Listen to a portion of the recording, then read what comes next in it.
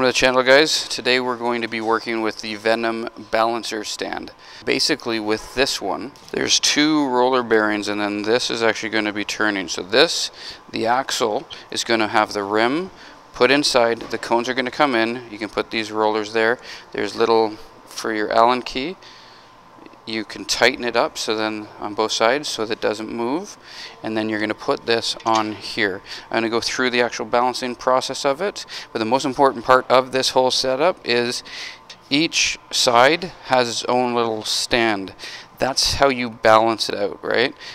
Then it has a sight glass so you balance this all up and then that'll be right dead center. Now you know that that's balanced to the ground, everything's perfect. So let's continue on.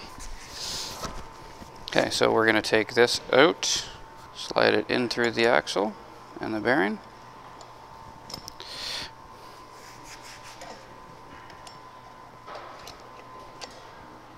Okay, that's about centered.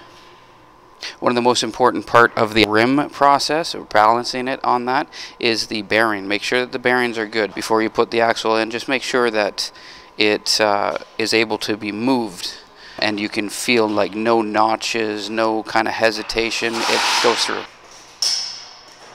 Okay, so you're just going to tighten it up, right? And not, not reefing on it. You're just kind of trying to make sure that it doesn't walk back. Same thing with this side. Make sure that it's in.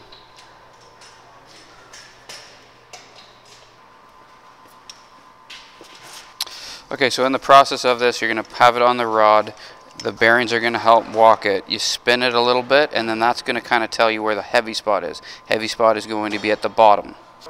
Okay, so what you're going to do is that's the heavier side. You're going to put weight up at the top, right? We're not going to actually put it on. We're just going to put a full ounce right here. And then we're going to put it right up at the top. So one ounce is up top. We're going to go to a 90 degree. And we're going to let it go. So if it climbs up, that means that I need to put more weight on. If it comes down, it's too much weight.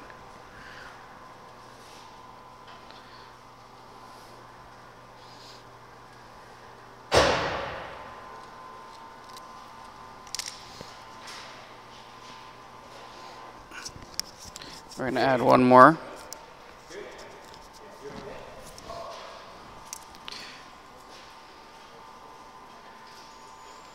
90 degrees.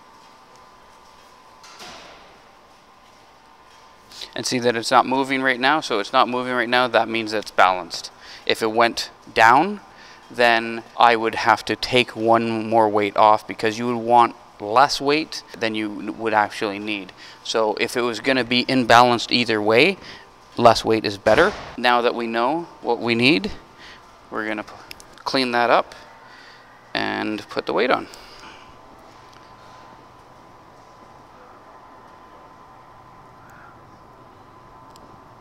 We're going to check it. We're going to go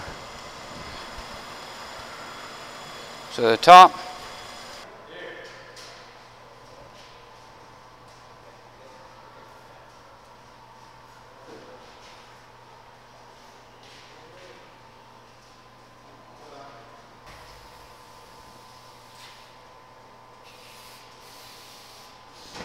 So we're going to pull one off.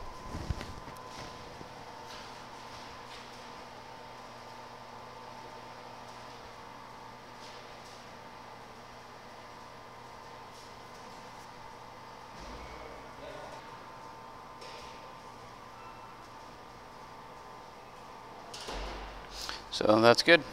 So that's the actual Venom stand. It's actually quite easy to work with. It's pretty decent, pretty accurate as well. Uh, front tire, you really want to have it accurate. Uh, if not, you're gonna have some vibration and stuff. Uh, could have tank slappers too. So if you like the channel, if you like the content, please give me a thumbs up, like and subscribe. Till next time, guys.